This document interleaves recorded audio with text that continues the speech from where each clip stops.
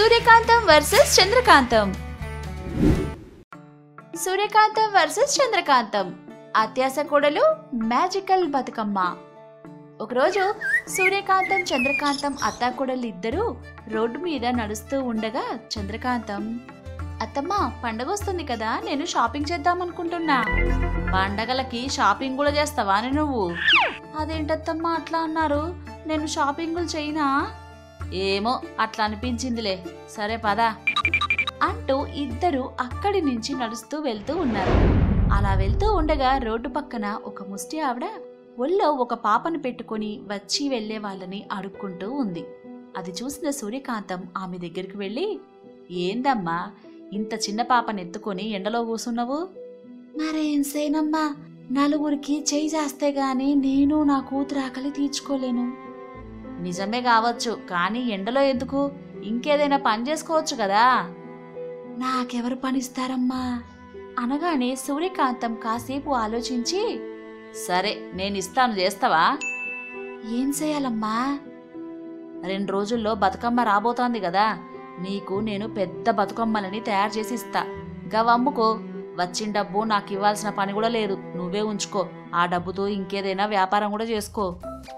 అని అంది. ఆ మాట విన్న చంద్రకాంతం షాక్. ఆ ముస్టావిడ చాలా సంతోషించి అమ్మా చాలా సంతోషం అమ్మా. కానీ నాకే ఎందుకు సాయం చేయాలనుకుంటున్నారమ్మా? సాయం పలానా వాళ్ళకే చెయ్యాలని లేదు కదా. కష్టాల్లో ఉన్న ఎవరికైనా సాయం చేయొచ్చు. నీ కష్టం నేను చూసినా సాయం చేయగలిగే శక్తి నాకుంది. అందుకే చేస్తాన్నా. ఈ సందు శివరే మా ఇల్లు. రేపొచ్చి బతుకమ్మలను తీసుకోబో అనగానే ఆమె రెండు చేతులు ఎత్తి దండం పెట్టి అట్టాగే అమ్మా. ఇప్పుడైతే అట్ల నీడకెళ్ళి కూర్చోపో అని చెప్పి అక్కడి నుంచి ఇంటికి బయలుదేరింది. ఇంటికి వచ్చాక చంద్రకాంతం ఆశ్చర్యంగా అత్తమ్మా మీరు పెద్ద బతుకమ్మల్ని చేసి ఆమెకిస్తారా? ఎన్నని చేస్తారు? దానికోసం ఎంత పువ్వు కావాలో తెలుసా? ఎన్ని రోజులు కష్టపడాలత్తమ్మా? తెల్లారేసరికి ఎలా ఇస్తారు? నువ్వు ఉన్నావు కదనే చేయడానికి. జోక్ కాదత్తమ్మా. ఎట్లా ఇస్తారు చెప్పండి. ఎలాగో ఇస్తాలేవే. నువ్వెళ్ళు. అని అక్కడి నుంచి వెళ్ళింది. ఆమె వెళ్ళగానే చంద్రకాంతం డౌటే లేదు. ఖచ్చితంగా ఈమె దగ్గర మ్యాజికల్ బతుకమ్మైనా లేదా బతుకమ్మ పువ్వు ఉండే ఉంటుంది.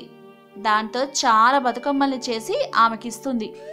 అందుకే ఆమె ఆ ముస్టావిడికి ఇచ్చే ముందే నేను ఆమె దగ్గర ఉన్నది దొంగిలించి దాంతో ఈ ఊరు మొత్తానికి సరిపోయే బతుకమ్మల్ని చేసి ఏదైనా షాప్ ఓడికి హోల్సేల్గా అమ్మేస్తా. అప్పుడు మనకి చాలా డబ్బు వస్తుంది ఆ డబ్బుతో పండగ షాపింగ్ ఫుల్గా చేసుకోవచ్చు. అనుకుంటూ ఆనందపడుతూ ఉంది. అనుకున్నట్టుగానే ఆ రోజు రాత్రి వాళ్ళ అత్త నిద్రపోగానే తను నిద్ర లేచింది. పిల్లిలా అడుగులు అడుగు వేసుకుంటూ అత్త గది దగ్గరికి వచ్చి ఈమె పడుకుందా లేదా? పడుకునే ఉంటుంది. మెల్లిగా వెళ్ళి నా పని కానిచ్చేస్తా. అంటూ వెళ్ళింది. కొంచెం కూడా చప్పుడు రాకుండా మంచం దగ్గరకు వచ్చింది. సూర్యకాంత్ నిద్రపోతూ ఉంది. పక్కనే టేబుల్ ఉంది. ఆ టేబుల్ మీద మ్యాజికల్ బాక్స్ ఉంది. అది చూసి హై ఇక్కడే ఉంది మ్యాజికల్ బాక్స్ అంటూ ఆ బాక్స్ చేతిలోకి తీసుకుని ఓపెన్ చేసింది. అందులో అరచేతిలో పట్టే అంత సైజులో ఒక బతుకమ్మ ఉంది. అది చూసి నేను అనుకున్నది నిజమే. మ్యాజికల్ బతుకమ్మ ఉండనే ఉంది. మా అత్తకి నా మీద కంటే ఊరి మంది మీద ఎక్కువ ప్రేమ. అన్ని వాళ్ళకే ఇచ్చేస్తుంది. నాకెప్పుడు ఏది ఇవ్వదు. రాక్షసత్త! అంటూ ఆ మ్యాజికల్ బతుకమ్మని తీసుకొని ఆ పెట్టి అక్కడే పెట్టేసి తన గదిలోకి వచ్చేసింది. వచ్చి హా ఇప్పుడు తెల్లారిలోగా వందల కొద్ది బతుకమ్మల్ని చేసి వెనక ఉన్న గోదాంలో దాచేస్తా. అత్త లేనప్పుడు వాటిని అమ్మేసుకుంటా. అవును ఇంతకి దీని మ్యాజికల్ పవర్స్ ఎలా బయటకు వస్తాయబ్బా బతుకమ్మని ఎలా తయారు చేస్తారు? పువ్వు తెచ్చుకుంటారు. ఆ పువ్వు అంతా ఒక పెద్ద పళ్ళెం లాంటి దాంట్లో ఒక పువ్వు మీద ఇంకొకటి పెట్టి అందంగా పేరుస్తారు. కదా? ఇప్పుడు మనకి పువ్వుతో అవసరం లేదు కాబట్టి పళ్ళెం ఒకటి తెచ్చుకొని అందులో ఈ చిన్న బతుకమ్మని పెడితే దీని పవర్స్ బయటకు వస్తాయి కావచ్చు అని అనుకుంది. అనుకున్నట్టుగానే ఒక పెద్ద పళ్ళెం తెచ్చి ఆ పళ్ళెంలో ఆ మ్యాజికల్ బతుకమ్మని పెట్టింది. చంద్రకాంతం అనుకున్నట్లుగానే పళ్ళెంలో పెట్టిన కాసేపటికి పెద్ద బతుకమ్మగా మారిపోయింది. అది చూసిన చంద్రకాంతం ఆశ్చర్యంగా ఎస్ నేను అనుకున్నది నిజమే. ఇక ఇప్పుడు చూడు అంటూ పళ్ళెంలో ఉన్న పెద్ద బతుకమ్మని పక్కకు పెట్టింది. ఆమె అలా పక్కకి పెట్టిన కాసేపటికి ఆ చిన్న మ్యాజికల్ బతుకమ్మ మీద ఇంకొక పెద్ద బతుకమ్మ వచ్చింది. అలా తీస్తూనే ఉంది.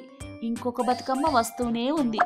అలా తెల్లారేసరికి చాలా బతుకమ్మల్ని పోగు చేసింది. అవన్నీ వెనకాల ఉన్న గోదాములో దాచింది. దాచి వాళ్ళ అత్త లేవడానికి ముందే ఆ మ్యాజికల్ బతుకమ్మని మళ్ళీ పెట్టెలో పెట్టేసి తన గదిలోకి వచ్చేసింది. సూర్యకాంతం లేచి తన పనేదో తను చేసుకుంటూ ఉంది. చంద్రకాంతం కూడా ఏమీ జరగలేదు అన్నట్లుగా లేచి తన పని తను చేసుకుంటూ ఉంది. కాసేపటికి ముస్టామె వచ్చి అమ్మా అమ్మా అని పిలిచింది.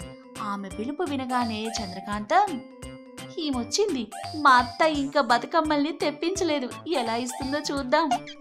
అంటూ ఉండగానే సూర్యకాంతం వచ్చి వచ్చావా? నీకోసమే చూస్తాన్నా. దయగల తల్లివి సాయం చేస్తా అన్నారు. రాకుండా ఎట్లుంటానమ్మా? సరే నీకిస్తా అన్న బతుకమ్మలన్నీ అగో గా వెనకాల ఉన్న గోదాంలో ఉన్నాయి. గయన్నీ తీసుకోపో. అని అంది. ఆ మాట విని చంద్రకాంతం షాక్. ఆ ముస్టామె సరే అని దండం పెట్టి అక్కడి నుంచి వెళ్ళింది. చంద్రకాంతం ఆశ్చర్యంగా అత్తని చూస్తూ ఉంది. అత్తమ్మా ఆ గోదాంలో బతుకమ్మలు ఉన్నాయని మీకు ఎట్లా తెలుసు? బతుకమ్మలు ఎట్లా చేస్తారని నువ్వు అడిగినావు కదనే? అప్పుడు నేనేమన్నా నువ్వు ఉన్నావు కదనే చేయడానికి అని అన్నాను కదా గుర్తుందా? హా, నువ్వు ఇట్లా చేస్తావని ముందే గ్రహించి అట్లా అన్నా. నువ్వు రాత్రి నా గదికి వచ్చింది ఆ మ్యాజికల్ బాక్స్ ఓపెన్ చేసింది బతుకమ్మలు చేసి దాచింది అంతా నాకు తెలుసు. ఆ మాట వినగానే చంద్రకాంతం షాక్.